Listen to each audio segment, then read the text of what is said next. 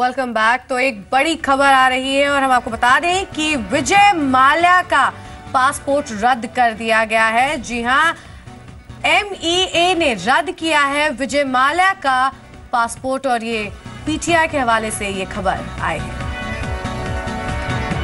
विजय माल्या बहुत बड़े जो कि बिज़नेस टाइकून हैं, काफ़ी समय से विवादों में रहे हैं। उनका पासपोर्ट रद्द कर दिया गया है। हम आपको बता दें कि एमईए ने रद्द किया है ये पासपोर्ट। विजय माल्या का पासपोर्ट रद्द कर दिया गया है और पीटीआई के हवाले से ये खबर आई है।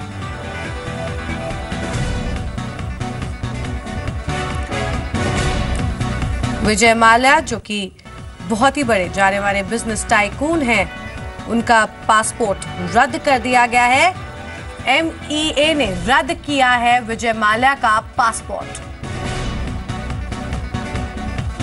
इससे पहले विजय माल्या का पासपोर्ट सस्पेंड हुआ था, लेकिन अब उसे रद्द कर दिया गया है।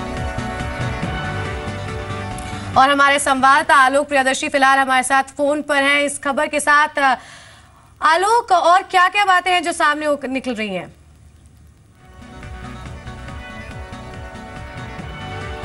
हम कोशिश करेंगे कि आलोक से एक बार फिर से कनेक्ट किया जा सके। फ़िलहाल हम आपको ये बता दें कि विजय माल्या का पासपोर्ट रद्द कर दिया गया है। एमईए ने रद्द किया गया है। पहले विजय माल्या का पासपोर्ट सस्पेंड हुआ था और अब एमई ने रद्द कर दिया है विजय माल्या का पासपोर्ट।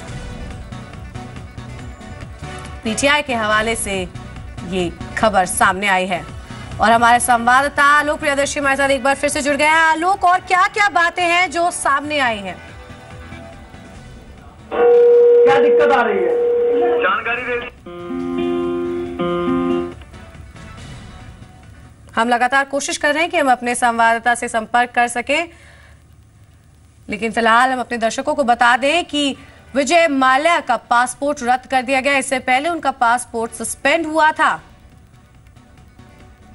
एमईए ने रद्द किया है विजय माल्या का पासपोर्ट।